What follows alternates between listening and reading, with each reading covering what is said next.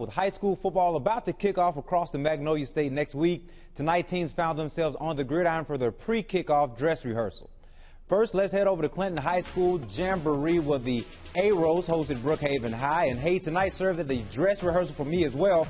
Got to make sure there's no rust on the football filming skills, and I'm still in good shape. According to this play, Clinton's quarterback, Kale Luke, takes the hit, finds Khalil Finch, who makes a great catch for a first down. And Finch must have thought I missed it because they ran the same play later in the scrimmage. And yep, this catch even better than the first. Very nice.